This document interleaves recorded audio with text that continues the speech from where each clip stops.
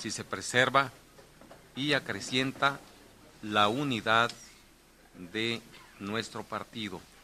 Por lo tanto, expresaron su voluntad política de construir un acuerdo que los lleve a un candidato de unidad y que convenía mantener presente que el objetivo fundamental en el quehacer político de estos días es lograr una candidatura de unidad.